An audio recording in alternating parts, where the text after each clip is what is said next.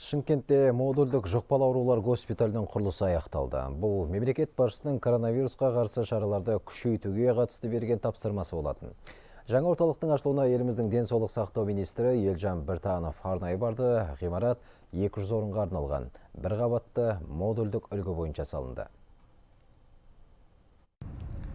Госпиталь қаладағы ақжайық шағын ауданында бой көтерді. Орталық қалалық жұқпалы аурулар ауруханасының филиалы болып табылады. Мұнда коронавирустық инфекцияға күдікті деген барлық пациенттерді қабылдайтын болады. Ғимараттың жалпы ауданы алты мың шаршы метрден астам. Біздің жұқпалы аурулар ауруханасында бұрын жаңағы компьютерлік томография дейміз ол еш уақытта болмаған. Қазір компьютерлік томография бар бұл жерде. Сонан кейін же цифровой рентген аппарат дейміз цифровой рентген аппарат бар бұл жерде.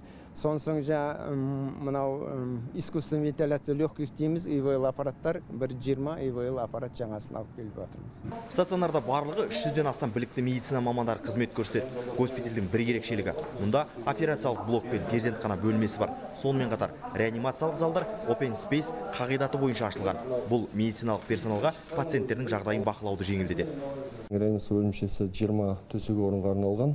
Жиырма төсек орынның екі төсек орны изолятор. Изоляторде өздеріңіз білесіздер.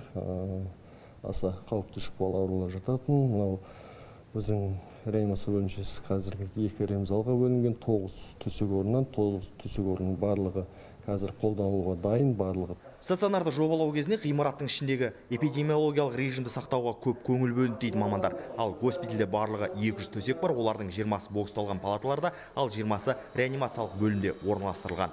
Нұрбек байбосын нұрмахан мұсатов хабар жиырма